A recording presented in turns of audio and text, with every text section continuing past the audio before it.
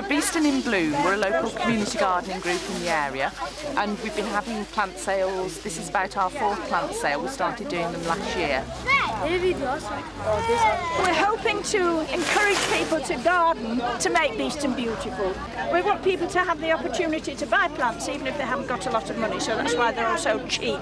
And you must admit they are cheap. I'm going to put this in, and when it gets bigger, I'm going to plant it in a bigger pot. And when the summertime comes when it's really hot, I'm going to plant it in my garden.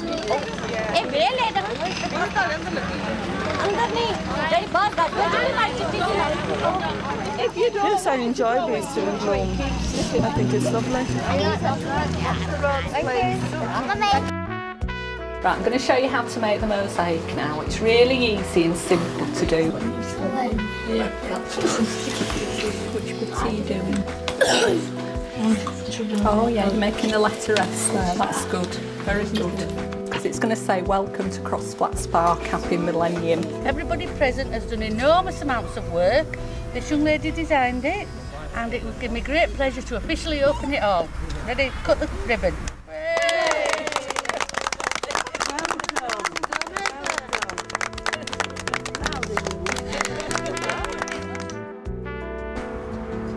Lived here since 1940 in the house that was formerly my grandparents and then my parents and then I took it over.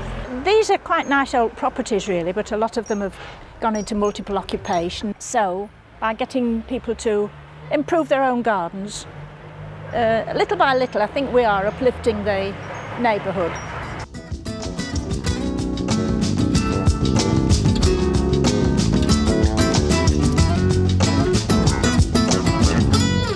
Hanging basket was provided by uh, Beeston in Bloom who came round last year and they fixed the bracket to the wall and gave us the hanging basket with compost and some plants in as well.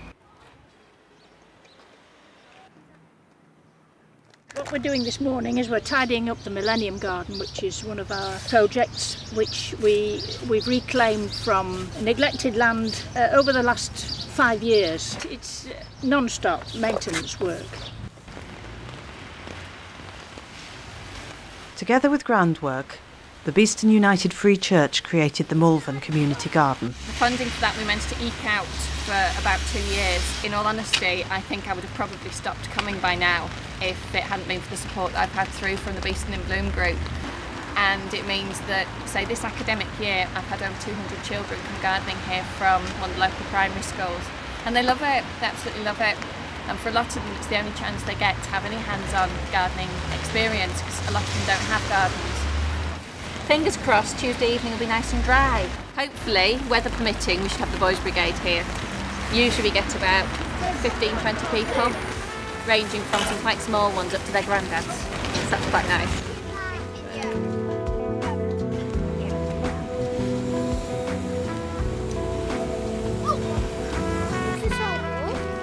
There's a big compost bin at back that'll all. Oh, I can't keep.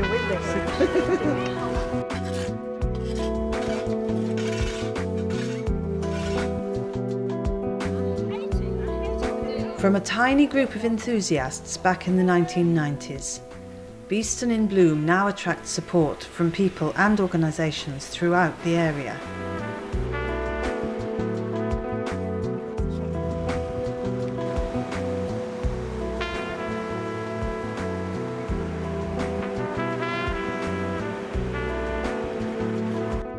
In 2007, Beeston has been chosen to represent Yorkshire in the Urban Communities section of Britain in Bloom.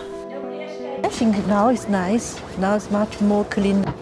It looks like it's being cared for, doesn't it? You know, there's a, there's a lot of effort going in. Beeston seems to be on the up.